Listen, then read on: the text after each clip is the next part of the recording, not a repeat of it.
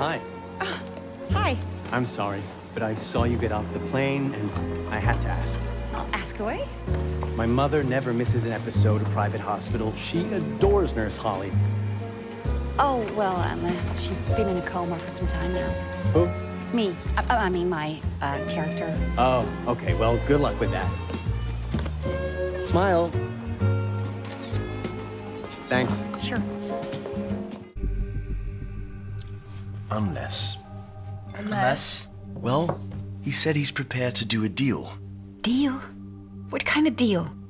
Took the words right out of my mouth. Well, he seems to think you have information that you could trade with him. Something he might want. Information? This makes no sense. Sal, Annika, you've been digging around? You've done what? Guys, that could be dangerous. Sorry, we were just trying to help. They're treasures, Kate. They really are. I'm sure they meant well, even though their actions were misguided. So, Sal, Annika, what do you reckon? Any ideas?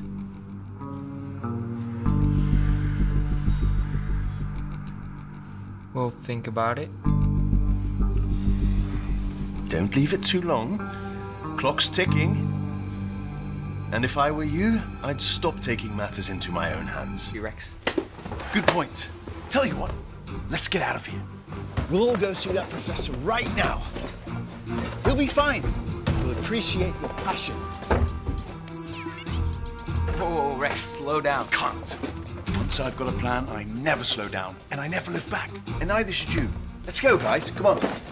Rex, hold on. Do I need to change?